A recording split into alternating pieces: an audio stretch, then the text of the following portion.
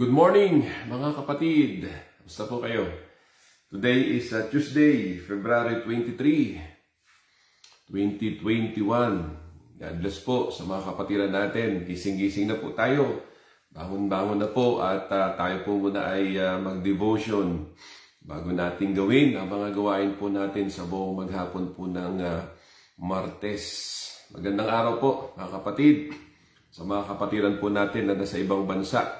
Diyan po sa States, diyan po sa Amerika, diyan po sa Canada, diyan po sa Guam, diyan po sa Hawaii, mga kapatid natin diyan, sa Italy, sa Australia, sa Singapore, sa Canada, and uh, diyan po sa Hong Kong, diyan po sa Thailand, no? Malaysia, may mga kapatiran po tayo diyan na nakaantabay, sa Spain, no? may mga kapatiran po tayo diyan nakaantabay. And of course, dito po sa Pilipinas, sa Luzon, Visayas, Mindanao, Magandang umaga po sa inyo. Uh, pagpalain po tayo ng Panginoon. Gising, gising, gising, gising na po tayo. Alas 6 na po. At uh, umpisahan na po natin na magbulay-bulay ng salita ng Diyos bago natin gawin ang mga gawain po natin sa buong maghapon po ng Martes. Pagpalain po ang bawat isa po sa atin. At uh, kung meron po kayong mga Biblia, ay uh, hawakan na po natin. Ihanda na po natin yung ating mga Bible at yung mga papel, uh, ballpen, ano po, at uh, of course, higit sa lahat, pakishare na po itong ating video para nang sa ganun eh, meron na pong uh, nakapakinig ng mga kaibigan ninyo sa Facebook, kakilala ninyo, no, mga kapatid, para mas, ma, masabayan nila tayo ano po, sa ating uh, uh, daily devotion dito sa live streaming po natin. Okay, at tutuloy po natin yung pinag-usapan po natin kahapon, How do you see yourself? Part 2. Yan. Yan po yung uh, pag-uusapan po natin. Pangalawang bahagi na po ito. Maganda po kasi po ito eh. Ano po, it talks about uh, kung paano mo tinitingnan yung ating yung, yung sarili mo. Ano, uh, kung uh, paano mo talagang minamanage ang isip mo. Kaya nga, sabi nga po nila eh, huwag mong hayaan na ang isip mo ang manguna sa iyo, kundi dapat ikaw po ang manguna sa isip mo. Yan, parang ganun yun po yung, yun po yung pinag-uusapan natin. okay mga kapatid, tayo po muna ay manalangin. Ama naming Diyos na banal at dakila at makapangyarihan ka sa lahat, kami po ay nagpapasalamat sa umagang ito na muli kami po ay nagkasama-sama sa aming daily devotion dito po Panginoon sa live streaming, Father God. Uh, we thank you Lord, we praise you Father God uh, because Father God, it's another brand new day na pinagkaloob mo sa bawat isa po sa amin na again with uh, all the strength and uh, with, all, with, with all the life Father God that we have and we will use uh, this life, this strength, Father God, uh, uh, para ikaw po, Panginoon, ay mabigyan po ng uh, kapurihan. At ikaw po, Panginoon, ang siyang uh, may taas, Panginoon. Salamat po, Panginoon. Patawarin mo kami sa mga nagawa po namin mga pagkakamali. At uh, nawa, Panginoon, patuloy na linisin mo ang aming mga buhay at patuloy na maging karapat dapat po kami sa iyong banal na harapan. Salamat po sa banal na Santong Espiritu. Ang lahat ng ito ay aming sama-samang panalangin sa pangalan po ng aming Panginoong Yesus. Amen. Good morning mga kapatid. Gusto ko lamang pong uh, sabihin po sa inyo doon po sa mga uh, kapatid na kalalakihan na which supposed to be ngayon po ay pupunta po sana po tayo ng uh, La Union, no mga kapatid. Uh, gusto ko lamang po ulitin, hindi po tayo natuloy dahil po high risk po ang La Union po ngayon. Yun po ay uh, base po sa uh, sinabi po ng isang kapatid po natin na doktor ano dito sa Baguio. Kaya sabi niya, Pastor, uh, high risk po ang La Union. So, kailangan, kailangan daw po pagbababa or aakyat, kailangan meron kayong swab test na para papakita na nagpag, nagpa-swab test kayo. So, kaya minarapat po natin, mga kapatid po natin kalalakihan dito sa Pines, na hindi na po tayo tumuloy. kaya kanina may mga pumunta po rito kanina. Pasensya na po kayo. Uh, eh, hindi po, ano, akala ko na, na ina-inform na po kayo na po, na-inform na po kayo, yun pala, hindi nyo pa pala alam. Kala ko kasi kahapon, nanonood po kayo ng live, hindi, hindi po pala ninyo na, no, na, na, nabalitaan.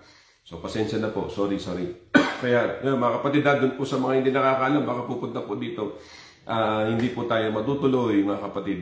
So, pag-usapan na lamang po natin ito sa susunod at uh, uh, naniniwala ko iyan ay mangyayari din.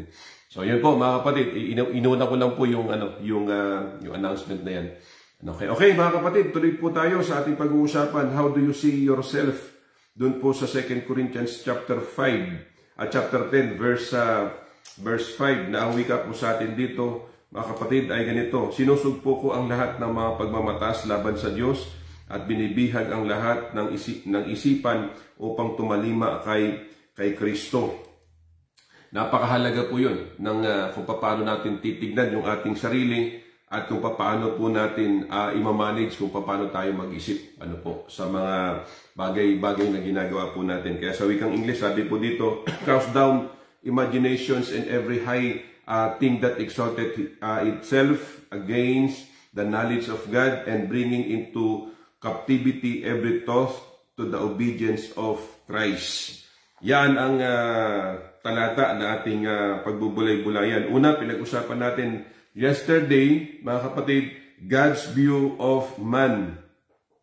God's view of man. Nakita po natin po yung halimbawang ginamit po natin dito po sa sa Numbers chapter 13 verse 33. Doon po sa mga Israelita nung si uh, si Moses po ay nagpadala po ng uh, mga tiktik. Kasama po doon sa kanyang pinadalang mga tiktik sino po si Caleb at saka si Joshua. And during that time, ano po, yung pagbalik po nila, ano po para mag-report po kay uh, kay Moses, yung sampung tiktik, negative ang report po nila. Na ang sabi nila, malalaki sila. We're just like uh, a grasshoppers ano po, sa paningin nila, no? Pero sabi ng uh, dalawa, ni si Caleb, sabi ni Caleb, hindi, ano, kaya natin silang dusubin, kaya natin silang talunin dahil sumasa atin si Yahweh. No? So positive, mga kapatid. Ngayon, kaya nga ang sabi po natin, uh, ang pagtingin sa sarili ay napakamahalaga. Kasi kung ano yung, kung paano mo tinitingnan ang sarili mo, ganun din marahil ang pagtingin ng tao sa iyo. O, kagaya itong mga, ang mga ano, mga kalaban po nila. No, ay sabi nga po dun, dun sa Numbers 13.33, And there we saw the giants, the sons of Anak, which come to the of the of giants of the giants, and we were uh, and we we were in our own sights as as grasshoppers, and so we were in their sight. No, yun po yung pagtingin nila eh. Pagtingin, pag, pagtingin nila sa kanilang mga sarili, mga mga mga grasshoppers lang, yung mga maliliit lang. Ano po, yun ang pagtingin nila eh. Kaya yun din ang pagtingin ng kalaban nila sa kanila. Yun po kasi yung report po ng sampung manin, ng, ng tiktik o yung yung uh, spice na pinadala ni, ni Moses po. Yung 12 spice na ito, galing po ito sa sa labing dalawang tribo dun po sa uh, sa Israel. No, bawat tribo isang spice, ano, isang representative para sasama tayo doon, pupunta tayo doon, doon sa Kanaan, titignan natin kung ano yung lugar doon na ipinangako sa atin ng Panginoon. Kaya nga ang sabi nga po eh, yun pong lugar na yun at talagang sabi nga po doon eh, uh, matabang lupa. Di ba? Matabang lupa at talagang sagana. Sabi nga po doon, nung nagla, pag, uh, pagpunta nila doon, pag uwi nila, meron silang mga daladalang mga mga buwig ng mga ng mga prutas. Talagang maganda, talagang maganda mataba yung lupa. Pero, ano po, sa isang banda, nakita po ng, ng sampo na negatibo na hindi malaki yung kaaway. Parang gatuhod lang tayo eh. Ano? So, hindi tayo pepede ron. Yun ang, ano, yun ang tingin nila eh. Kaya nga yung lesson po natin, God's view of man. Sabi po dito mga kapatid, the Israel, the, the children of Israel were faced with entering Canaan and taking what God had said belonged to them. Mga kapatid, And God had called the children of Israel strong and courageous. Ano? And He had told them that He had given them the land of their enemies that flowed with milk and honey. So, ibig lang sabihin, mataba itong lupang ito. He had said that it was a good land and that as, as His children, they should have it. And that He would fight for them and they were go to and take the land He had promised them. So yun ang pangako ng Diyos. Ito yung lupang ibibigay ko sa inyo. Ibabalik ko kayo kung saan kayo nagmula. Yan ang ibibigay ko sa inyo. Nga lang, may mga hindrances, may mga challenges, may mga may mga obstacles. Ang mga obstacles dito, yung mga tao nandoon na hindi sila basta-basta na malalaki talaga. Pero on the other hand, talagang uh, God is actually expecting na na itong mga taong ito ay lalaban kasakasama nila yung kapangyarihan ng Panginoon. Kasakasama natin ng Diyos kasi yun nga yung sabi ni Caleb at saka ni Joshua, pinahi, pinatahimik niya. Hindi, sabi niya, hindi. Ang, ang, ang, ang Diyos kasama natin. Sabi niya, hindi. Hindi tayo matatalo kahit na sila ay kagala, kahit na sila ay mga higante. Hindi tayo, mat, hindi, hindi tayo matatalo ng mga yan dahil kasama natin ang Diyos. Ang problema lang, ang tingin ng sampo sa kanila is, we're just like as just, just a uh, grasshoppers. Malilit lang tayo. Kung sa ano eh, tayo po yung mga gatuhod lang. Wala tayong, wala tayong panama doon. O, yan po yung pagtingin eh. Pero hindi tinitingnan ng kaaway na kung gaano sila kalaki o gaano sila kaliit. Tinitingnan kasi ng kaaway na maliit ang mga Israelita kasi ganun ang pagtingin ng Israelita sa kanila. So, same thing sa atin buhay, sa buhay natin. Pag halimbawa meron kang gustong marating, ano po, ah, nakadepende ito sa kung paano mo tinitignan ang sarili mo eh. Ano po, hindi sa kung paano ka tinitignan ng mga tao sa paligid mo. Kasi pangalawa na lang yung susunod na lang po na kung paano ka titignan o tinitignan ng tao sa paligid mo kasi ganun ang pagtingin mo sa sarili mo. Di ba mga kapatid? Alam ba, kung ikaw po'y, kung po'y gusto mong uh, maging, alam maging, uh, let's say, halimbawa, magnegosyo, o alim, parang ganun, o magnegosyo, tapos yung negosyo mo maliit, tapos it, uh, itatayo mo yung negosyo mo, halimbawa, sa, sa katabi ng mga malalaking negosyo. O maliit lang yung negosyo mo. O, eh, sa tingin mo, maliit lang. Pero yung fighting spirit, sige, kahit na maliit to, itatabi ko sa mga malaking uh, negosyo, lalago to, lalago, lalago. Ganun po yun eh. Halimbawa lang yun. Kung yung halimbawa naman ay uh, meron kang gustong marating, halimbawa, sabi ko nga, nung kahapon, gusto mo maging engineer, gusto mo maging doktor, gusto mo maging abogado, or kung ano man yung mga kurso na talagang uh, mahal na kurso, pero iniisip mo, napaka-imposible. Hindi, tuloy mo lang. Tuloy mo lang. God will provide. Ano po, ipo-provide ng Panginoon yung mga needs mo. Ano, basta't kaya ng isip mo, sabi ko nga, dapat kontrolin mo ang isip mo, hindi ang isip mo ang magkocontrol sa iyo. Kasi once na ang isip mo nagkontrol sa iyo, wala na. Dadaling ka ng isip mo sa kung ano yung iisipin mo, yun na yun. Ano kaya nga, what you think is what you are. Pag inisip ng, pag inisip mo na mahina ka, mahina ka nga. Makikita mo ang sarili mo, wala kang nagawa. Pag inisip mo na ikaw po ay talagang uh, mararamdamin, maramdamin ka nga, wala kang nagawa. Pag inisip mo na strong ka, pag inisip mo na talagang talagang malakas ka, makikita mo sarili mo malakas ka. Ganun po ang ibig sabihin. Kaya nga, in order for you to achieve your goal, your aim, your your your dream, ano po, eh kailangan kontrolin mo kung paano mo iniisip at kung paano ka mag-isip. Eh sa mga Israelita, inisip nila agad na maliliit kami, kaya ang tingin sa kanila ng kaaway, maliit nga sila. Oh, mga kapatid, tingin sa kanila ng kaaway, maliit sila. Kaya ganun po. Kaya uh, negatibo. Pero tumayo yung dalawa, si Caleb at si Joshua. Sabi niya, hindi. Sabi nila, hindi. Kasama natin si Yahweh, kasama natin ng Diyos. Pinangako sa atin ng Diyos yung lugar na yun. Pinangako niya sa atin na ibibigay niya sa atin yun. So manindigan tayo doon. No, pag sinabi niyang Ibibigay ko sa iyo, ibibigay ko sa iyo. Ganun yun. Kailangan lang talagang mag, mag, mag, uh, maging masigasig ka, maging committed ka, maging devoted ka. Sige, talagang pagbuhusan mo ng panahon. Ganun daw sa mga dreams natin eh. Ba? Sa church, sabi nga natin, sa church, napakamahalaga yun. Pag meron tayong plano, tuloy natin. Pinag-usapan, pinagkasunduan, tuloy natin. Kasama natin ng Panginoon. Ay, siyempre, of course, hindi natin maalis. May mga negatibo. May mga may mga isip po na mga negatibo, hindi hindi natin kaya yan, hindi natin kaya. No. Pag pinag-usapan yan at ipinagpray na, inilapit sa Panginoon, lahat ng mga bagay na sa tingin po ng iba ay imposible, sabi nga po, but with God, all things are possible. So, yun ang tinuturo sa atin. Kaya nga, sabi nga, if God said it, His promise had to be fulfilled because God cannot lie. Pag sinabi ng Diyos, na ibibigay ko sa inyo yan. Yan ang pangako ko. Pag sinabi ng Diyos, yan ang mararating mo. Ano po, paniwalaan mo na yun. Paniwalaan mo na yun. Kumbagay, kumbagay, ano na yun, panindigan mo na. Lord, binigay mo sa akin to, ibibigay mo sa akin to, Panginoon. Kaya because ang sabi dito, because God cannot lie. Hindi siya sinungaling. Ano, hindi siya sinungaling, mga kapatid. However, the children of Israel imagine themselves as what? As grasshoppers mga kapatid ko. Entirely different from the way God had imagined them, ano po, or spoken of them. Ang tingin sa kanila ng Diyos, kasi tayo po, we are created in the image of God, di ba? According dun sa Genesis chapter 1, verse 27. Nilikha tayo ng Panginoon ayon sa kanyang wangis. Ano po? so therefore, ang pagkakatingin sa atin ng Panginoon ay special. Ang pagkakatingin sa atin ng Panginoon ay talagang uh, tayo po yung uh, special na kinirate ng Panginoon. Kaya kinirate niya tayo ayon sa kanyang wangis. Eh.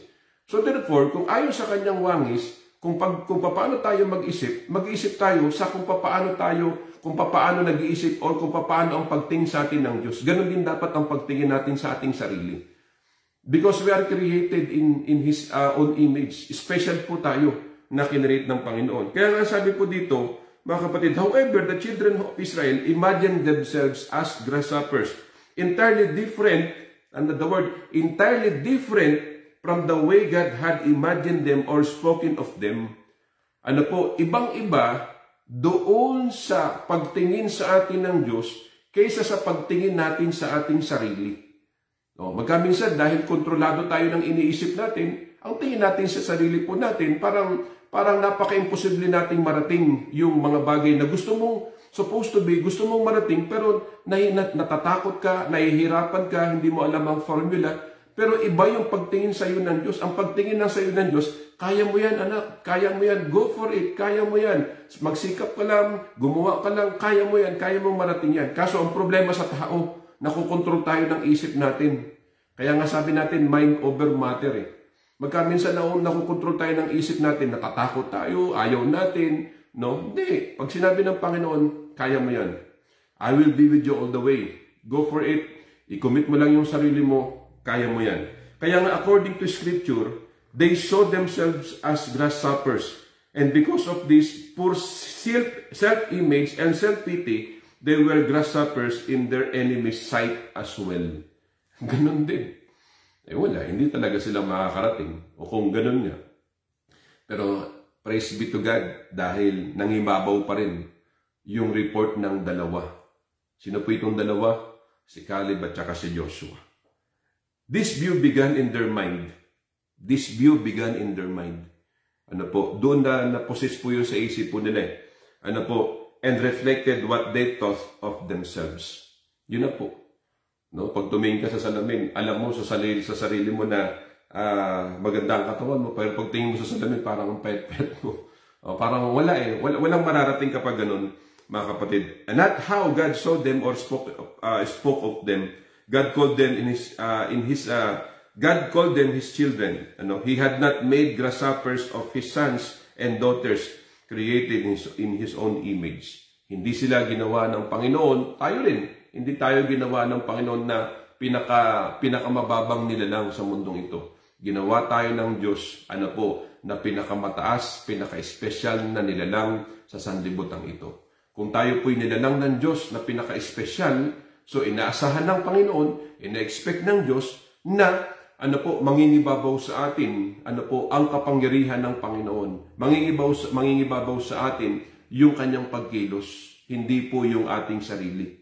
Kaya nga mahalaga po yun eh. Dapat uh, we must uh, we must commit ourselves sa sa Panginoon. Kaya nga sabi doon, commit to the Lord whatever you do and your plans will succeed. Kukumit mo yun sa Kanya. Paano kapag kinumit mo sa sarili mo, yung, sa, yung, yung ginagawa mo, kinukumit mo lang, Lord, para lang sa akin to, eh, time will come eh talagang ang tingin mo sa sarili mo maliit nga. Pero kapag tingin pag tiningnan mo at kinuwit mo yung yung ginagawa mo sa Panginoon, ikukumit mo sa kanya yan, ano po, eh dating ang panahon na magiging uh, achiever ka. Dating ang panahon ma-achieve mo yung gusto mong uh, gusto mong marating, mga kapatid. Kaya nga this this negative view this displease the Lord. Uh, ito po yung negative na, na kaisipan eh. Ito po yung hindi po nagbigay po ng kaluguran sa Panginoon. And that causes the Israelites to wander on a 40-year trail. No, yun po yung naging dahilan kung bakit it's supposed to be 40 days lang yung yung uh, uh, time ano nila, time travel po nila, yung period ng paglalakbay. Pero dahil po sa katigasan ng ulo, dahil po sa puno negatibo, mga kapatid, eh, tumagal po sila ng umabot po ng 40 years. Ang lesson sa atin, supposed to be, madali mo nang tapusin yung ano mo, yung uh, yung uh, yung uh, pag-aaral mo. O bakit umabot ka ng 7 years, 8 years? It's supposed to be 4 years lang yan, di ba? Bakit umabot ng ganun? Posible, bakit? Kasi marahil, marami pang ano, marami pang mga gumugulo sa isip mo, di ba? Hindi ka makapag-focus. Magka, magka minsan, negatibo ka. O, sa, sa ginagawa mo. Kasi ganun eh. Kaya pagka kailangan focus eh. Yung nang mahalaga dun eh. Focus. Mga kapatid, kapag hindi ka focus sa ginagawa mo, tatagal ang tatagal ang gawain. O, sa halimbawa, sa, sa kaya sa pag-aaral. O, halimbawa, sa ginagawa mo, sa, sa bahay na lang eh. O, sa, sa ginagawa mo sa bahay, kung hindi ka nakapokus sa, sa isang gawain, focus ka muna, one at a time. Huwag mong pagsabay-sabayin. Unahin mo yung dapat unahin. Kapag inuna po ito, focus ka dyan. Talagang pagsikapan mo yan. Kasi, halimbawa, pinag-umpisa-umpisahan mo, umpisa dito, umpisa dito, umpisa, umpisa, puro umpisa. Wala kang matatapos doon. Tatagal ka ron. O, mga kapatid. O, babalikan mo ulit. Day 1, 2, 3, 4. O, pagdating sa 4, o, balik ulit sa number 1. May ginagawa ka, o, dabaw, balik naman sa number 2. Ano, hindi mo pa tinatapos yung number 1, ang iniisip mo yung number 2. Oh, hindi ka ngayon nakakapag-focus. Ganon din, hindi pa natatapos ang number 2. Ang iniisip mo na kung paano mo ngayon gagawin naman yung number 3 o hanggang number 4. Ang mahalaga po dito, focus ka muna sa number 1. Hayaan mo muna yung 2, 3, and 4.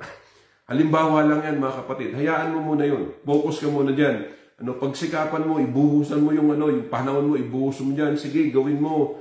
Ano po, para maging pulido yung trabaho, gawin mo muna yan. Dyan muna, mag-focus ka muna dyan. Hindi yung kung saan-saan ka, paikot-ikot. Di ba? Ganun sa pag-aaral eh. Focus ka muna kung ano yung kurso mo.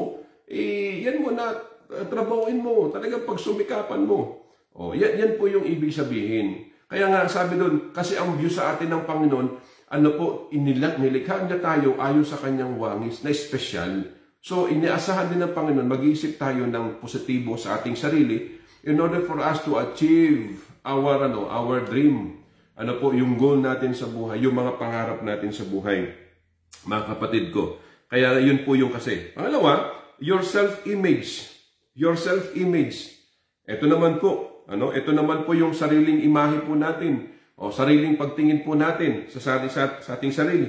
How do you imagine or how you imagine yourself as a believer is very important. Ano? Kung paano po natin tignan ang ating sarili, ito po yung mahalaga. It determines how other how others think of you and whether or not you please God.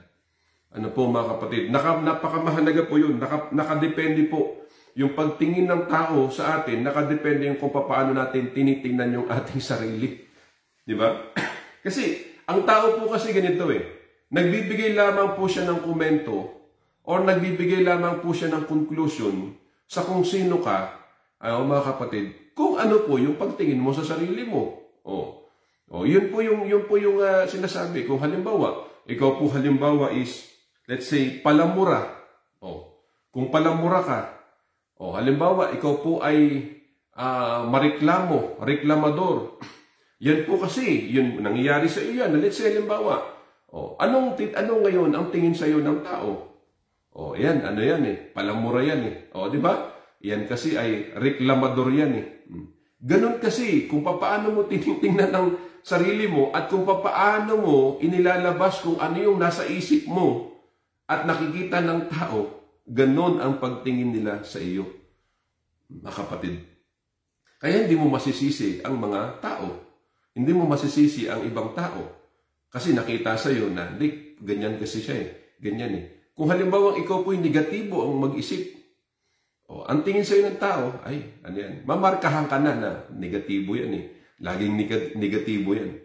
O, ganun eh. O, kasi pag halimbawa, meron kayong pinag-usapan, o, tapos, ikaw lang yung halimbawang, ay, ikaw lang yung, yung sumasalungat. Ay, yan ang kilala. Pagkakilala sa, hindi, negatibo yan. No, parang wala na kaming, wala na akong ginawa ang tama sa kanya. Kasi, ganun nga yung isip mo eh. No, yun din, sa halimbawa, sa, sa mga bahay natin, o, sa, ano, mga nanay natin, o, ayun na, ano ba yung pagkakilala mo kay nanay? Hindi yung pagkakilala mo kay nanay, or kay tatay na ganun siya. Hindi, dahil nakita mo na ganun kasi siya. Na, na nagets natin mga kapatid. Nakita mo kasi na araw-araw ganun siya. O, si nanay, ganito si nanay, maingay sa bahay, ano, madaldal si nanay, utos ng utos si nanay. O, yan eh. Well, yung, ang nanay naman, hindi mo pwedeng sisihin yung mga anak mo na hindi ka ganun. Kasi yun ang nakikita nila sa iyo. Araw-araw. Yung tatay mo, ano ba yung ano pagkakilala mo kay tatay mo? Ang tatay ko, uh, si tatay ko laging paggagaling sa trabaho, uuwi siya, magbibihis, ganun, uh, manonood ng TV, magbabasa, or kung ano, oh, sa tatay mo maingay ba? Hindi, tahimik lang si tatay. Uh, parang ganun. No. Bakit? Kasi yun ang nakita ng mga anak doon sa tatay nila. Hindi po nag-conclude ang mga anak na ganun tatay nila kahit na hindi nila nakita na ganun. Na, na-gets natin yung point. So, yun ang, yun ang tinuturo sa atin eh. Kaya nga, dapat mag-iingat tayo kung paano natin tinitignan yung ating sarili. Ganun po ang posibleng magiging tingin ng iba sa, sa atin. Mahalaga po yun eh. Kaya hindi mo pwedeng sisihin yung ibang tao na kung anong tingin sa iyo. Kung negatibo ang tingin sa iyo, hindi mo sila masisi. Kasi baka naman doon sa sa side pocket ng buhay mo is ganun ka nga, negatibo. Ganun yun. Mga, yun, yun, yun po yun eh. O halimbawa, ang tingin naman sa iyo, ayan, si, si, uh, alam mo, si, si, si kuya, ganito si kuya. O talagang masipag si kuya. Dahil nakita nga sa iyo na masipag ka. Ganito si kuya, positibo yan si kuya. O kaya si ate, ganito si ate. No, mag, maganda ang ano niyan. Dahil nakita nila sa iyo eh. Pero kung halimbawa puro negatibo ka, ganito ka, ano, ma, ma, lalabas at lalabas mo yun eh. Makikita at makikita ng tao. Kaya napakamahalaga kung paano mo tinitignan ng iyong sarili. Your self-image. How you imagine yourself as a believer is very important. It determines how others think of you and whether or not you please God. No? So many times we hear people talk about working on their self-image. Uh, kapatid, no, the only true way of anyone to work on that is to look at the Creator of all mankind. Kaya nga mahalaga po eh, kung paano natin tignan yung ating sarili, tignan natin yung ating sarili sa harapan ng Panginoon. Ano po, magkaroon po tayo ng tinatawag nating reflection. Tignan natin ang ating sarili sa Panginoon na siyang ating manlilikha, siya po yung ating manlalanang. God, our Father, ano, through our Lord Jesus Christ, in whose image man was made in our, is, is our Creator. Di ba Colossians chapter 1 verse 15? Any image or imagination of yourself that is not based on the Word of God is incorrect. Kumbaga, nakabase lamang po yun sa iyo kung paano mo titignan ang iyong sarili. Kaya nga, as a believer, mga kapatid, it is important for us to know, ano po, who we are, who you are, ano po, are in Christ. Mahalagang malaman po natin, mga kapatid, na kung sino tayo sa harapan ng Diyos. Yun po yung tinuturo sa atin. And you must be ready at all times to receive words said about you that the concur ano po, with the Word of God. Mahalaga po yun. Kaya nga, dito dapat sinasalamin po natin yung ating sarili sa harapan ng Panginoon. When we read our own Bible, ano po, nare-realize po natin na kung sino tayo sa harap ng Diyos. Yun po yun eh. Nakikita mo kung sino ka sa harap ng Panginoon kapag nagbabasa ka ng Biblia. Kasi yung Biblia, ano po, kagaya po ng salamin. Ano po, di ba doon po sa James, kagaya po siya ng salamin na kapag nagbabasa ka ng Biblia, nakikita mo, ay, ito po, makasalanan pala ako, ganito pala, matatakutin pala ako, ganito pala, magagalitin pala ako, hindi pala maganda yun. Punong-puno na pala ako ng bisyo, hindi pala maganda yun. So yun po yun, as a believers, it is very important for us to know ano kung sino tayo sa harapan ng Panginoon. No? Dapat magpasalamin po tayo doon sa pamamagitan ng kanyang mga salita, mga kapatid. Kaya nga, ang sabi nga po natin, mga kapatid, the Bible is your guide for your self-image. Di ba? It is really important for us to know that the Bible, that the Word of God, sabi nga po natin, is our guide for our self-image. Kaya nga, to receive more abundantly from God, speak and exalt His Word, the Holy Spirit working in us will prosper our words or your words so your faith becomes sight. Ano mga kapatid, begin to meditate the picture, what God's Word says about you and what you can do in Christ. Yan po ang tinuturo sa atin. Kaya mahalaga po yun. Mahalaga po na kung papaano tayo tumingin sa ating sarili, eh dapat magpasalamin tayo or salaminin natin ang ating sarili sa harap ng Panginoon when we read the Bible. Kapag binabasa natin ang Biblia. Yun po yun. Dapat tingnan natin ang ating sarili. Kung tingin mo sa sarili mo, mahina ka, tingnan mo yung Biblia. Ano ba ang sabi ng Biblia tungkol sa iyo? Sinabi ba talaga ng Biblia na mahina ka? Baka naman hindi. Ganun lang po yun eh. Sinabi ba ng Biblia na ikaw talaga ba ay matatakutin dahil iniisip mo na matatakutin ka? Baka naman hindi. Kaya yun po ang kulang sa tao. Kaya nga talagang uh, we should read our own Bible. Kasi yung Biblia po ang nagsasabi sa atin kung sino talaga tayo. Sabi po ng Biblia, hindi ko kayo binigyan ng espiritu ng kaduwagan, di ba? Eh kung ikaw po'y duwag na duwag, natatakot ka na ma maabot mo yung yung uh, yung yung dream mo, natatakot ka sa sarili mo, ano ba ang sinasabi po ng Biblia? Ano po, what the Bible says about fear? What about what what the Bible says about uh, takot? Ika nga eh, pangamba. O, sinasabi ba talaga ng Biblia na yung takot mo ay talagang natatakot ka? O, baka na matata- natatakot ka lang dahil yun po yung iniisip mo pero hindi naman talaga sinasabi ng Biblia. And when, when in fact, ang sabi nga po ng Biblia is dapat sabi doon, binigyan ko kayo ng espiritu ng, ng, uh, ng katapangan, ng pag-ibig, ng pagpipigil sa sarili, hindi espiritu ng kaduwagan. Ang problema sa tao, dahil po kulang po sa pagbabasa ng Biblia, ano po, nade-develop po yung isip po na natatakot nga sila. That's why, para po sa kanila, it's impossible for them to achieve their goals. Why? Dahil naposes na po nila sa kanilang isip, natakot nga sila. Ano po, yun po yun eh. Kaya nga, ano po, uh, ang mahalaga, sabi nga po natin, sa ating sarili muna eh. O, tandaan po natin, hindi po mahalaga, isipin nyo, hindi mahalaga kung anong iniisip ng tao sa atin, ang mahalaga kung ano muna yung iisipin natin sa ating sarili. Ngayon, kung ano yung iisipin natin sa, sa ating sarili, yun din po ang magiging kaisipan ng ibang mga tao sa ating sarili. Kagaya po dito sa mga Israelita. Inisip nila that they were just like grasshoppers. Yun din po ang naging kaisipan ng mga kalaban po nila. O na maliliit nga talaga sila.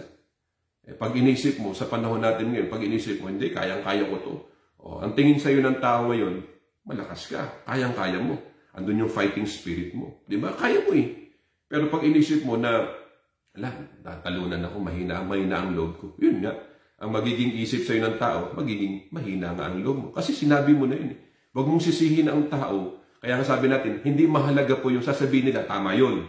Hindi mahalaga. Kaso, ano po, kapag nag-isip sila sa iyo ng ganun, hindi po nanggaling sa kanila lang yun. Kumbaga, naobserbahan nila sa iyong sarili na ganun ka. Kaya nakapag-isip sila ng ganun. Yun ang resulta lang. Dahil yun po ang pagka, pagkakaisip mo, pagkakilala mo sa sarili mo. Na matatakotin ka, mahina ang loob mo, eh ang isip ng tao, mahina nga din ang loob mo.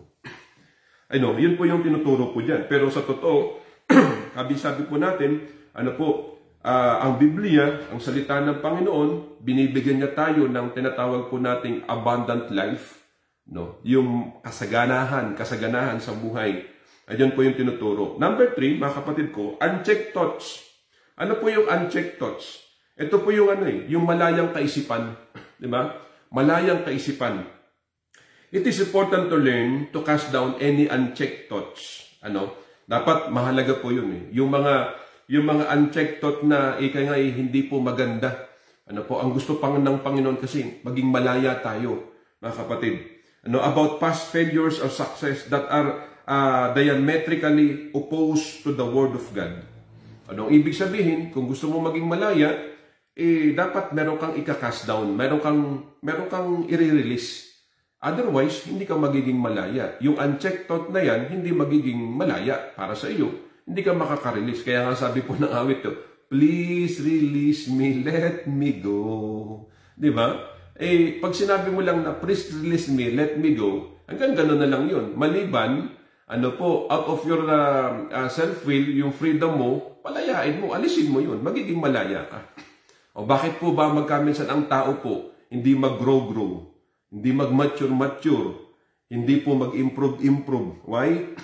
Dahil po magkaminsan meron pang mga gumugulo eh. May mga gumagambala pa sa isip.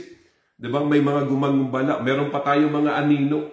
Ang ibig sabihin, yung mga past failures po natin, yung mga past experiences po natin, dala-dala pa natin. Lalo't higit yung mga, yung mga hindi magaganda ano, na nangyari sa atin nung mga nakaraan. Dala-dala pa natin. Kaya hindi tayo makapag-move on. Hindi po tayo makapag-grow. Hindi po tayo maka, ano, hindi tayo mag-grow-grow, hindi po tayo ma-develop ng husto. Why? Kasi iniisip pa natin yung mga alin, yung mga mga kaisipan na talagang daladala pa natin. Kaya hindi tayo magiging malaya. Unchecked thoughts. Nang sabi po dito, mga kapatid, ang sabi nga po dito, they are, they are potentially dangerous to our spiritual well-being. Uh, ano po yan?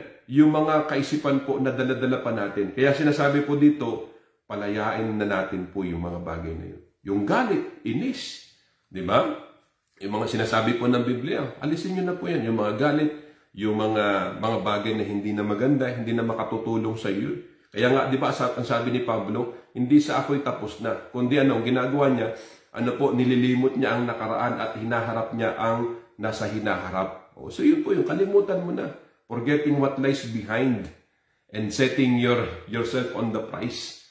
No? So yan po ang uh, sinasabi po diyan. For many Christians, the idea of something negative happening to them has the ability to paralyze them in such a way as to give place to fear. No? To give place to fear. Bakit po? Napaparalyze po yun eh. Bakit po? Kasi negatibo. Oh, hindi mo hindi mo ngayon mabigyan po ng ng ika nga i-focus yung ginagawa mo. Puro ka ng negatibo. Oh, mga kapatid, ay yun po, takot na, nangangamba ka na. Diba? Nakakalungkot kapag meron kang ginagawa ng isang bagay, tapos kinakabahan ka. Ano po? Di ba, kapag ikaw po'y merong ginagawa, tapos andun yung kaba, andun yung pangamba, ah, hindi po, ano yun, parang, alam niyo yun, parang yung magnanakaw. Nakita po tayo ng mga na magnanakaw. Mga ng mga nagnanakaw, ano po, andun yung pangamba nila, andun yung kaba nila eh. Pero, hati po yun eh, na huwag kong gawin, gawin ko, huwag kong gawin. Wag. Kaya, habang ginagawa nila, nila yun, andun po yung pangamba. Ano po, kaya, uh, most of the uh, magnanakaw, magkaminsan nahuhuli dahil na ano sila eh. Ano? Siyempre, hindi naman natin sinasabi na gawin natin. Ang ano ko lang, halimbawa lang po yun, na andun yung pangamba, natatakot silang baka mahuli, natatakot sila baka makita sila, natatakot sila na, na talagang na, ma, baka ma, ma, masukol sila. Andun yung pangamba eh, mga kapatid. Kaya ano nangyari? Huli nga talaga. Bagaman yan po hindi magandang gawain. So sa buhay, ano po, halimbawa, sa pag-aaral, sa pag-aaral mo o sa trabaho mo, mo, sa trabaho mo, hindi mo, hindi mo alam yung ginagawa mo. O nilagay ka dyan halimbawa ng boss mo na hindi mo alam yung ginagawa mo, nangangamba ka. O, ano po yung uh, magiging outcome niyan? O, dahil hindi mo alam yung ginagawa mo, Siyempre, parang nagdadalawang isip ka, tika, gagawin ko ba to? Di ba? Wala kang matatapos. Pero kung halimbawa, sige lang, okay lang, parang as if na alam mo lahat, sige lang, trabawin mo lang. Kaya nga, di ba yung message natin ng mga nakaraan, ano, kung uh, hindi mo alam, merong binigay sa iyo na hindi mo alam, ano po, sa, sa panahon na yon hindi mo alam, tanggapin mo lang. Kasi along the way, matututunan mo rin yun eh. Andun yung lakas ng loob eh. Huwag ka lang maging negatibo. Huwag mo sabihin, ay hindi ko po alam yan. Taas na kagad yung kamay mo, hindi ko alam yan. Wala akong magagawa dyan. No, just accept it. Just accept it. Kasi later on, madidevelop ka rin eh. Ano, mayuyus na yung sarili mo, yung isip mo, makukuha mo na, magagamay mo na yun. Sige, mag mag magagawa mo na. Ano po. So yun ang tinuturo sa atin. Mahalaga po yun. Kailangan natin palayaan yung ating sarili. Buhat po doon sa, doon sa mga negatibo. Palayain mo na. At gawin mo. Kung halimbawa ito, bago pa lang po ko. Halimbawa, newly graduate ka. O bago pa, bago ka pa lang nagtapos. Nag-apply ka. Pero yung in-apply mo, iba yung ibang trabaho doon sa talagang natapos mo. Ay, paano kaya ito? In-applyan mo eh. Sige lang, lakas lang ng loob. Lakas lang ng loob. Ganun lang po yun ang buhay. O wag ka nang magpaano, hindi kasi ganito, ganito. Hindi. Huwag kang magpa, ika nga eh, huwag, pang, huwag kang magpakulong doon sa dati mong ginagawa. Nung nag-aral ako sa seminaryo, sa totoo, ah, hindi naman po ganun talaga palabasan ng Biblia. hindi ako ganun palabasan talaga ng Biblia. Nag-aral ako sa Bible School. Ano po, sa kasama lang ako ng pastor namin, hindi naman talaga ako palabasan. Pag sinabi lang ng pastor, Bert, ito yung basahin mo. Brad, ito yung basahin mo. Opo, babasahin ko lang yun. Pero hindi naman talaga ako Bible reader talaga. Oh, pero nung sinabi sa akin ng mga elder namin sa church noon, time na yun, ah, gusto mo ba, Brother Gilbert, mag-aral sa seminaryo, Bible school? Hmm, sabi sa kanila, sa kanila naman ang galing yun. Meron ka kasi, Brad, nakita namin na may potential ka. So sabi ko, sige po, uh, pruin ng Panginoon. Nag-aaral ako sa seminary, wala akong ano, wala akong, wala akong pang matrikula. Honestly, alam na mga kapatiran ko yan. Honestly, wala akong pang matrikula. Sabi ko, wala pa akong pang matrikula, wala pa akong trabaho, wala pa akong pera. O, anong sabi sa akin? Sige lang bro. Eh, praise God, yung pastor namin ng mga panahon na yun, siya yung nag-backer sa akin sa seminaryo. O, nag-work ako sa seminary. O, nagtrabaho ako, nag-work ako, nagwawalis ako. O, ayan, andyan si Kuya Rolly. Yan, no, kasama, natin, kasama natin ngayon dyan si Kuya Rolly. Si Kuya Rolly, noong mga panahon na yun, siya po yung voice drum father namin. No? O, Gilbert, sa mga kasi siya din may hawak ng mga nag-work eh. O, may hawak siyang logbook. O, sa gabi, nagagwardya ako. Alam ni Kuya Rolly yan. Yan, nandiyan kasama natin. Alam ni Kuya Rolly, nagagwardya ako sa, sa gate ng Manila Bible Seminary, alas 10 hanggang alauna na madaling araw. Sige. Pero sa totoo, kung bakit ako nagtatrabaho, kasi pambayad ko yung sa matrikula, pambayad ko sa pagkain. Nung time na yun, hindi ko alam kung anong gagawin ko eh. Sige lang, lakas lang ng loob. Sige Lord, andito na ako eh. At doon, talagang nagsumika. Mag-aral, magbasa ng Biblia. Hmm. O, nakatapos ako within 4 years. From 2000 hanggang 2004, nakatapos ako ng seminaryo. Pero ang tanong ko po, na, napunta ba ako doon na talagang alam ko na ang lahat? Napunta ba ako doon na talagang punong-puno ang pitaka ko, bulsa ko ng pangmatrikula? Wala. Wala. Pero ito po'y napakaganda. Lumabas ako ng Manila Bible Seminary wala akong utang. Eh, ang maganda po doon. So, ang ibig kong sabihin, huwag ka lang maging negatibo, huwag mo lang isipin kasi ganito lang po ako eh. Ganito lang po ako. No, huwag mo isipin yon. Ano man ang gusto mong um, marating sa buhay, ano man yung gusto mong um, ma-achieve sa buhay, dapat lakas lang ng loob. Huwag negatibo, huwag kang magpapakulong sa takot. Huwag kang magpapakulong sa kaba. Kasi ang kaba, yan ang magdadala sa iyo pabalik. Diba? Hahatakin ka niyan pabalik eh. Ngayon, pag hinata ka ng kaba mo, takot mo sa pabalik, hindi mo na mga makukuha yung ano mo, yung pangarap mo. Di ba ganun eh? Uh, ngayon po, nasa ministry po ako. Ilang taon na po ako sa ministry. Oh, 20, uh, 22, 21 years na ako nasa ministry. Praise be, praise be to God. So yun ang tinuturo sa atin. Yung unchecked thoughts, alisin na natin yun para maging malaya po tayo. Yung mga bagay na hindi makatutulong sa atin para lumago, alisin na natin po yun. So yun po yung sinasabi. Sa iglesia, ganun din po yun. Ano, sa, sa iglesia, ganun din po. Ano man yung mga plano natin sa iglesia, ano po, alisin na natin yung mga, yung mga negatibo. Alisin na natin yun. Huwag na yun. Huwag natin isama yan. Hindi makatutulong yan. Ano, huwag na natin, pabigat lang yan, negatibo na yan eh. Huwag na natin ano yun yan. O, ito, ito, focus na natin to. Dito tayo, pag-usapan natin ito. O, ngayon, along the way, habang pinag-uusapan, medyo, medyo, tika mo na, may mga hindrances, okay lang, tuloy lang tayo. Natural, ganyan talaga ang buhay. Sa ministry, talagang may mga hindrances eh. Hindi mo mawawala yan eh. May mga negatibo, sige tuloy lang.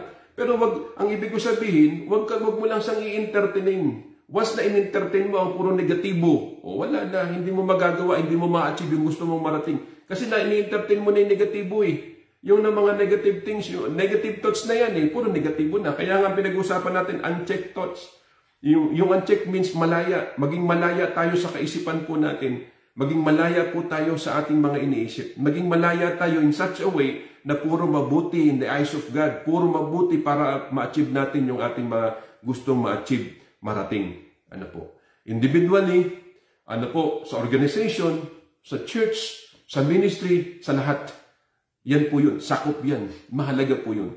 Kaya nga maliwanag po ang sabi nga po dito mga kapatid. Second, 2 Timothy chapter 1 verse 7, mga kapatid, sabi dito, For God hath not given us the spirit of fear, but of power and of love and of a sound mind.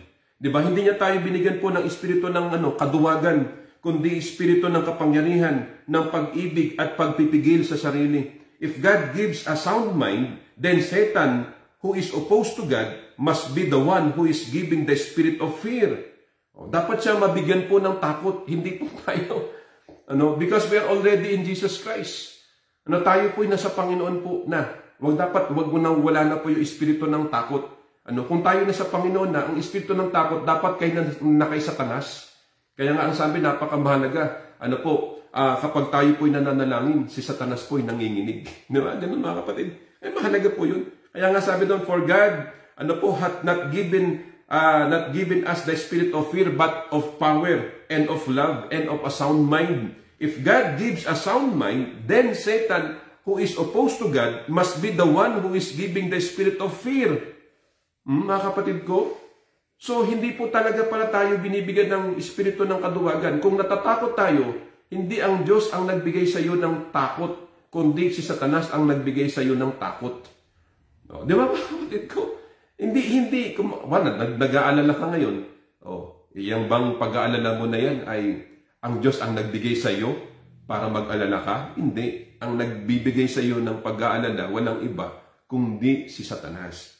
Kaya nga sabi dito, ano po, and sabi nga po dito mga, mga kapatid, If God gives you a sound mind, then Satan, who is opposed to God, must be the one who is giving the spirit of fear. Kasi sound mind nga yung binibigay ng Diyos eh. Ano po, spirit of power nga eh. And of love eh, ang binibigay sa'yo ng Panginoon. Kung kabaliktaran po, nararamdaman mo pa rin ng takot, nangangamba ka pa rin, well then, ang conclusion natin dyan, hindi yan galing sa Diyos. Galing yan kanino? Kay, kay Satanas. Mga kapatid, and you must make the decision to arrest negative thoughts and cast them down by the Word of God. God has given you the authority to do so. Ikaw po ang may kapangyarihan po doon. Binibigyan tayo ng kapangyarihan ng Panginoon. Kaya nga sabi nga po ng Biblia, 1 Corinthians chapter 10 verse 13, ano po, ah, sabi nga po doon, ang lahat ng tao dadaan po sa pagsubok, ano po, pagdating po ng mga pagsubok, hindi niya tayo iwan, kundi salit, bibigyan niya tayo ng ano, kapangyarihan upang mapagtagumpayan ang mga pagsubok na yan. Di ba? So, lahat po yun. 2 Corinthians chapter 10 verse 13, mga kapatid ko. Hindi dumaan po sa atin ang mga pagsubok na hindi dinadas ng ilan, kundi sa halip, tapat ang Diyos na hindi niya tayo susubukin sa mga bagay na hindi natin kaya. Sa halip, pagdating ng mga pagsubok, ang sabi doon, God will give us power. God will give us power in order for us to overcome those trials in our life. No, bibigyan niya tayo ng kapangyarihan upang mapagtagumpayan ang mga pagsubok na yan sa buhay. So therefore, mahalaga kung paano tayo mag-isip. Mahalaga kung paano mo tinitimbang ang mga bagay-bagay. Kaya nga, again, sinasabi ko at inuulit ko, hindi dapat tayo ang magpakontrol sa isip po natin. Tayo dapat ang magkontrol sa ating mga isip, kapatid. Mind over power lang po yan. Kung may, may, may karamdaman ka, wag mong Huwag mong isipin yung karamdaman mo. Isipin mo, may meron kang Diyos. Ano po, meron kang malaking Diyos kaysa dyan sa problema mo. Di ba? Kung iniisip mo na ganito ka, huwag mo isipin. Darating at darating lang yan, mga kapatid ko. Di ba? Darating at darating yan, lalampas at lalampas po yan. Ganun eh. O mahalaga, nagpapatuloy tayo. O sa mga tagapangaran, sa mga mga kapwa ko tagapangaran. O kasi marami mga tagapangaran po na nawawala na po sa ano, sa balanse po ng paglilingkod. Oh, dahil daw sa problema, dahil dahil wala daw sa pangkain sa mga pamilya. Dahil may nag-message sa akin, alam mo bro, ah, sabi niya sa akin, ilan na ba anak mo bro? Sabi ko, isa lang po ang anak ko. Sabi niya, buti ka pa, isa lang anak mo. Sabi ko, ilan po ang anak niyo? Ang, ang anak ko, lima. O, o bakit po ngayon? Ano pong, ano pong problema? Ngayon, talaga ang, ang, ang liit ng tinatanggap ko sa church, ano, talagang ganito. Eh, ganun eh, nag-anak kayo ng marami. nag-anak kayo ng marami. Hindi, ang ibig ko sabihin, sabi ko, hindi, tuloy lang kayo sa Panginoon. Time will come ano po, ma- magiging maayos din po yan. Eh kasi Brad, maliit lang tinatanggap po sa church. Hindi, sipag lang tayo. Dating at dating, ang, pang, ang, pan- ang panahon na talagang lalago din yung iglesia na kapag dumago yung iglesia na yan, talagang andun po yun, yung panalangin natin na yung mga kapatiran ay maging open sa pagbibigay. So, supportahan kayo niyan. Ako, ang, ang, ang pinaglilingkuran natin, hindi ang tao, ang pinaglilingkuran natin ang Diyos. Sangkapan niya lang yan, kinakasangkapan niya lang yung iglesia para maging pagpapalat sila sa atin. Di ba mga kapatid? Yung, yung, yung iglesia, yan din po yung channel ng blessing eh, ng Panginoon eh. Gagamitin ng, ng Panginoon ng iglesia. Ngayon, bilang tagapangaral, kailangan maging makita lang na maging masipag tayo, maging maalalahanin tayo sa mga kapatid. Panalangin mo yung mga kapatid. Ano po, dapat andyan ka lagi para sa kanila. Ganun lang po yun. Yan lang po yung sikreto. And ang tanong nga sa akin, yung nagtanong sa akin, mas matanda pa sa akin at tagapangaral. Eh, hindi lang po. Ako, so kung tutusin po, dapat kayo po yung magbigay sa akin ng payo. Oo nga, sabi niya, Brad, eh. Pero ano, sabi ko, hindi. Tuloy niyo lamang po. Kasi ganun, marami pong mga tagapangaral na, na nawawala po sa ano eh, sa linyada ng paglilingkod eh. Balik tayo sa paglilingkod. Napakasarap maglingkod sa Panginoon. Napakasarap mangaral ng salita ng Panginoon. May problema? Yes, automatic po yan. May mga pagsubok? Yes, automatic. May mga tukso? Yes, automatic po yan. Kaya nga, titignan mo yung kung paano mo babalansin eh. Huwag kang magpapakontrol sa isip mo eh. Kontrolin mo yung isip mo. Kapatid, bumalik tayo. Ay, sa mga kapwa ko tagapangaral, napakasarap maglingkod sa Panginoon. Yung iba nagsasabi na, hindi Brad, gutom sa ano sa ministry. No, hindi gutom. Tandaan po natin, yung walang hindi hindi gutom. Isipin mo, kung isipin, nag-aral ka sa seminaryo, tapos sasabihin mo na gano'n, may gutom sa ministro. Hindi, tinuruan tayo sa Manila Bible Seminary. Tinuruan tayo ng, ng mga professor natin, in-encourage nila tayo na talagang maglingkod tayo o, sa Panginoon. Hindi tayo. Marami nga pong mga tagapangaral din ngayon na talagang until now, nandyan pa rin sila. Nakita mo, ano, magaganda rin yung mga buhay nila dahil naglilingkod sa Panginoon. Tandaan natin, isa sa mga profession na masasabi ko, o masasabi kong salitang profession, Ang taga pagiging tagapangaral ay napakamahalagang profession po yan, mga kapatid ko. No? Tandaan mo, tandaan mo, hindi tayo naglilingkod sa Diyos. Ay, hindi tayo naglilingkod sa tao, kundi naglilingkod tayo sa Diyos. Kung tayo naglilingkod sa Diyos, ano po, siya ang bahala sa iyo. Ano po, God will bless you. God will provide all your needs. Ano po, according to His riches and glory.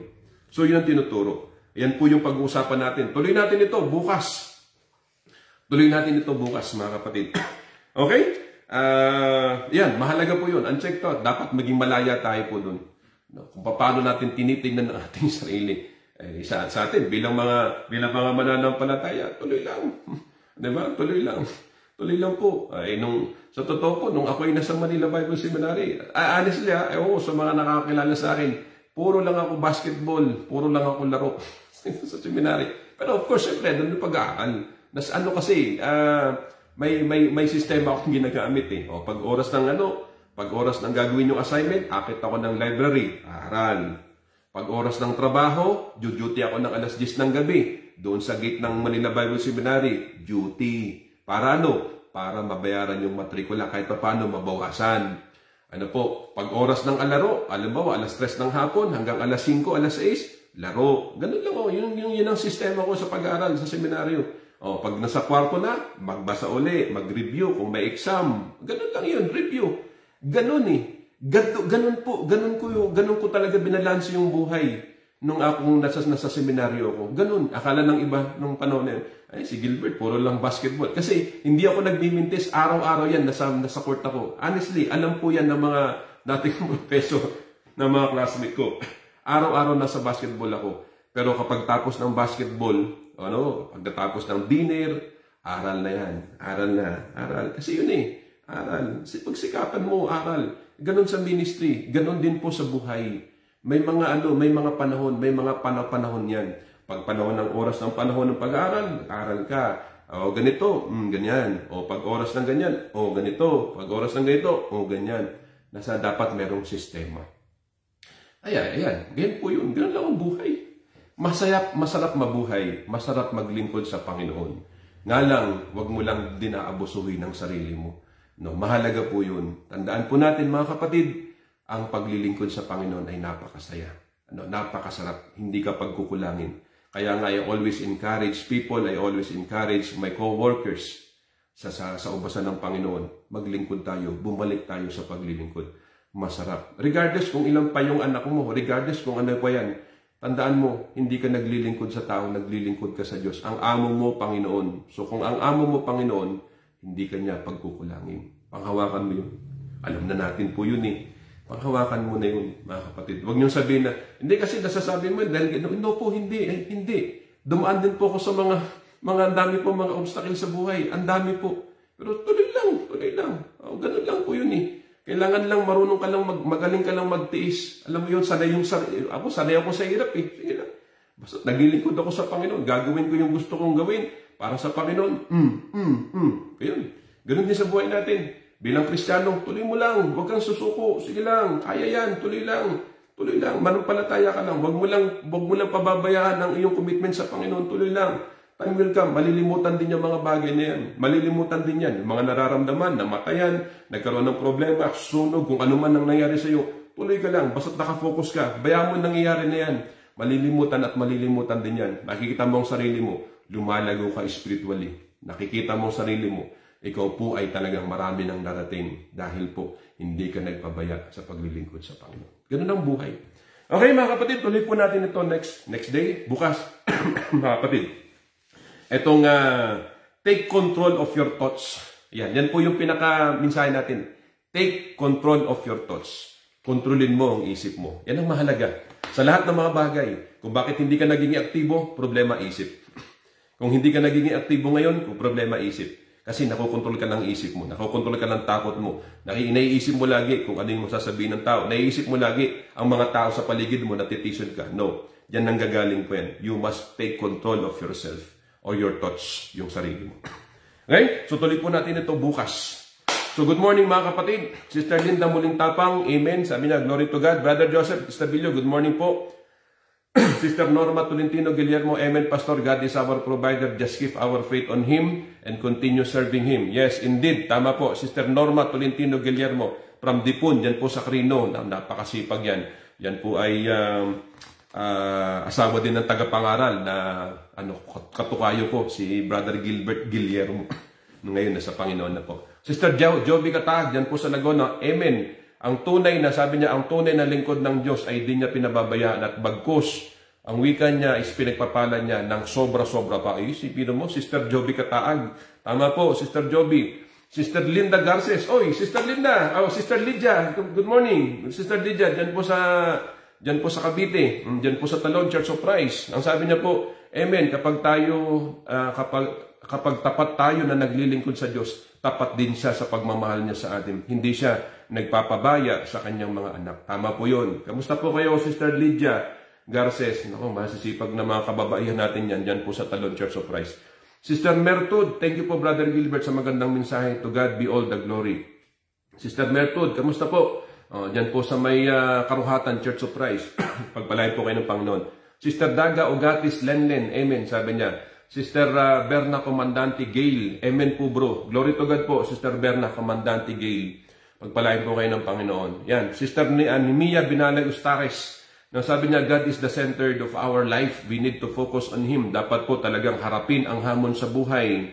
Ano po ng buhay. Never quit in serving God. God bless you all po. Yes, indeed. Tama po, Sister Nemia Binalay Ustares. Yan po yung pinagpipray po natin. Ano, kasama na po natin siya ngayon sa devotion natin si Sister Nemia. Yan po yung kapatid ni Sister ano, uh, uh, Sister Narcy Humbrubeno dito sa Pines na, na, na naging positibo po sa ano sa virus. Ngayon kasama na po natin siya. Glory to God, Sister Nemia, magpagaling po kayo. Magpalain po kayo ng Panginoon. Tama po, tama po yung sinabi niyo po. Dapat ang Diyos ang maging sentro ng buhay po natin. And let us always focus on Him, ano mga kapatid. So, para meron kang marating, focus ka sa Panginoon. Ganun lang yun. Sabi ni Sister Natalia Manalo, salamat po Pastor, salamat din po ati, ati Ma'am Benny sa laging pag-imbita sa akin makinig ang lalong higit sa Panginoon sa araw-araw na, na biyaya. Yun, tama po. Uh, glory to God. Yan po ay Sister Natalia Manalo. Kung di nagkakamali, isa din po, isa sa mga guro din po yan. Uh, God bless po sa inyo. Ayan, lagi siyang uh, sinesiran po ng aking uh, biyanan na si Mama Benny Lara. Yan, napakasipag na biyanan ko po yan na guro at at the same time uh, musician din po dyan sa, sa Balayan Church of Christ. Sister, uh, sabi niya, uh, please po, pasama po sa prayer Brother Pablo Tahimik ng Biga Church. He is in, uh, sick now po. Sige po, uh, pakipag-pray po natin si Brother Pablo Tahimik. Ano po, tama po ba? Tama yung mag... Oh, tama, Tahimik. Yan, Tahimik. Uh, kapatiran po natin from Biga Church of Christ. Diyan po marahil sa may, ano yan, sa Biga, diyan po sa may Cavite. No, sabi ni Sister Berna Comandante, siguro nakikita nyo naman po sa ating ano, video. So, pag-pray po natin na may sakit daw po siya. So, pag-pray po natin. Sister Rosie San Jose, praise God and thanks God. Sabi niya, blessed morning everyone. Thanks for, for sharing the word of God. So, glory to God po, Sister. God bless po. Okay, uh, sino pa makasama po natin? Sister Mila Andres uh, Duque, good morning po sa inyo. Sister Linda Mulintapang, good morning Brother Gilbert, God bless po. Good morning din po. Amen, Pastor. God is our provider. Sabi ni Sister Norma. Sister Jeline Kunanan, dyan po sa, sa Hong Kong. Good morning po sa lahat po ng mga kapatid. Thanks sa message, Pastor. God bless po. God, God bless din po sa inyo, Sister Jeline, dyan po sa uh, Hong Kong. Sister Levy Portugal, good morning po mga kapatid. Mga kapatiran po natin. Diyan po sa Laguna, kung nagkakamali. Sister uh, Sheila Ginayas, good morning po sa inyo. Brother Albert Hortalisa, gandang po, ganda po ng mensahe, Brad. Glory to God. Brother Albert, bro. Ang sarap ng luto nyo kahapon, bro. Yan, kapatiran po natin dito sa, sa Baguio. Si Sister Gloria Diaz, Amen and Amen. Glory to God po. Kay Tupildan, Tumilden, Amen. Good morning everyone. Be grateful and joyful always. Brother Alfred, ano nuevo? Bro, God bless po sa inyo. Pakishare lamang po itong video po natin. Si Brother Alfred, yan, membro po dyan po sa, ano, sa Cardona Church of Christ.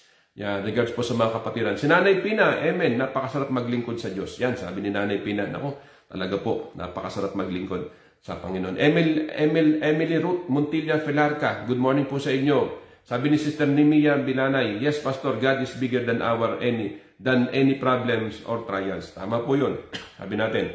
Nel Apostol, magandang umaga po. Si Nanay Flor, good morning po Nanay Flor. Sister Manu, Manu Sing Sing Bartolo, dyan po sa may balayan. Regards po kay Brother Lito Bartolo. Ayan, mga manggagawa din po natin yan sa iglesia at uh, kapwa natin manggagawa. Sabi po ni Nanay Pina, uh, sabi niya po dito, uh, yung school, sabi niya, uh, what I am today, continue, uh, continually and humbly serving the Lord in my limited way. Praise God. Yan, sabi ni Nanay Pina. Sister Cynthia Arbado, sabi niya, Amen, praise God, Brother Gilbert, naging matagumpay ka sa lahat ng pagsubok. Purihin ang Panginoon. Habang buhay, Sister Cynthia, may pagsubok. Kaya yan, tuloy lang ang buhay. Ganun lang po eh. Hindi natin alam, baka bukas, yung pagsubok mo kahapon, maliit. Ngayon, malaki na naman. Bukas, mas malaki. Sa susunod, mas malaki pa. O, di, ganun lang eh. Kumbaga, eh, yun kasi ang sinasabi ng Biblia eh. eh sabi ng Biblia, sabi ng Panginoong So Kristo, just take heart. I already overcome the world. Di ba? John chapter 16 verse 33. No? Maging matatag kayo sapagkat dating at dating sa inyo ang pagsubok na yan. Yung mga persecution, dating at dating na yan. Ano po? Pero sabi ni Jesus Christ, napagtagumpayan ko na ang sanlibutan. Yan. Uh, glory to God, Sister Nerissa Elak Balong. Praise the Lord. Sabi niya, Nerissa Elak Balong. Good morning po sa inyo. Si Brother Arman Miralles, Amen, sabi niya. Erme, Amen. Sabi naman din Sister Marila ah, Abinir Dukis. Sister Linda Molintapang, good morning po sa inyo. Yan, Sister Lydia Garces, good morning po. Yan, sabi ni, ni Nanay Pina, ako rin po, nagtrabaho din po ako habang nag-aaral sa NBS at tinulungan ng mga McElroys na nakapag, nagpag sa akin. Yan, thank you po. Ang gandang po patuto. Si Nanay Pina po kasi, sila po yung mga Nagtapos din sa seminaryo, siguro way back 1955 at 1960. Yan, uh, si Nanay Ipina, yan, napakasipag sa mga sa sa gawain. Si Brother Aroli Armadius din, magandang umaga po sa lahat mga kapatid kay Kristo. Good morning po bro, Marites Ignacio, bye-bye. Good morning po sa inyo. Si Tatay Marsing, Tatay Marsing, dyan po sa Canada. Yeah, Matira, ayan, si uh, Tatay Marsing, yan po ay uh, tatay ng aking professor at ninong din. Ano, na ninong namin sa kasal, si Prof. Uh, Sammy Matira. Yan, si Prof. Sam. Tatay niya po yan na nasa Canada. Yan. God bless po. Sister Lali Calixto, good morning po. Sister Rosie Abiso, good morning. Sister Krista Soriano, good morning, Sister Krista. Sister Delia Punumbayan, magandang umaga din daw po, sabi ni Nanay Leti. Good morning po, Nanay Leti. Kamusta po kayo? Marami tayong mga kapatiran po dyan sa Nasugbo na nakasama po, nakakasama natin. O, si Sister Beng, o, Veronica sa Montañez, good morning po, Tita Beng. Ayan, mga kapatiran po natin, mga kapatiran dyan sa sa Nasugbo Church of. Pagpalain po kayo, kamusta niyo po ako kay Brother Tony sa Montañez. Yan. Sister Lisa Ponce na nasa States, um, good morning po. Sister, oh, Sister Bernadette Caranto Estabilio. Ate Badet, good morning po. Kamusta na kayo? Sister Bernadette, yan, asawa ni Brother Joseph. Pagpalain po kayo ng Panginoon. Ingat-ingat po kayo. Marilyn Mahor, good morning po sa lahat. Good morning po. Yan, pagparain po kayo ng Panginoon. Yan. Sister Menang Poblete, Gerald Abella, mga kapatid. Sister Lona Dasing, nasa, uh, nasa Italy. Si, si Nana de los Santos, I see myself as blessed, sabi niya. Si Nana de los Santos, dyan po sa Canada. Si Pastor Noy Herbacio, Pastor, good morning po. O, dyan po sa may uh, Ilocos, congratulations po. Dahil uh, nakapasa po yung anak niya doon sa exam, sa board exam. At palagi kayo, Pastor, dyan po sa may uh, Kabusligan, ano, Church of Christ, dyan po sa may uh, Ilocos Sur, ano mga kapatid, dyan po sa may Bantay, Ilocos Sur yan sa may kabusligan. Pagpalain po kayo ng Panginoon, Pastor Noy. Uh, Sister Ma Marian Conopio Abiso, good morning po sa inyo. Albert Hortaliza, Eunice Matibag, mga kapatiran po natin yan. Brother, brother uh, uh, Albert, of course, si Brother uh, Efren Grospe, Sister Presley, Brother Sunday, bro, Sister uh, Lina, yan, mga kapatid natin, Sister um, uh, Nida Tamik, Tamiking, good morning po sa inyo. At marami pang iba. Yan, pagpalain po kayo ng Panginoon. Ana Amelia Marco, yung pinsan ko, good morning po. Sister Joyce Galvez Galvez uh, Ferma, good morning. Yan, si Nanay Marsing. Yung Nanay Marsing Matira, kasama din po natin. Nasa Canada din po yan, Canada. Nanay Marsing, kamusta po kayo? Pagpalain po kayo ng Panginoon. Oh, sabi pa dito, Ana Reyes. Good morning po uh, from uh, Commonwealth Church of Christ, Quezon City. Good morning po sa inyo, mga kapatiran po natin yan. Regards niyo po ako sa mga tagapangalan nila, Pastor Edwin. Good morning po sa inyo. Uh, sino pa po? Alfred Anyunuevo. Sabi niya, salamat Rene Hulyaw sa panonood. Paki-replay na lang po ang ratings uh, na lang inabot, na inabot mo. Yan, paki ano lang po, paki, paki-share lamang po itong video po natin. Pagpalain po tayo ng Panginoon. Sister Mercedita Tubiga Kapina, good morning. Sister Alodia Sotare, good morning po. Brother Merdadlon, good morning. Amy Fangun, good morning po. God bless ang sabi niya. Brother Ronaldo Aniceto, blessed morning, just done. Lang din po gawain dito sa, uh, yan, sa sa villages. Good morning po, Brother Ronald ano, uh, Aniceto. Ah, praise God. Okay, so purihin ng Panginoon. Sige mga kapatid, tayo po ay manalangin. Ah, alam po mga busy na po kayo, nagpe-prepare na po kayo kung saan kayo pupunta. No? Marami tayong mga gawain.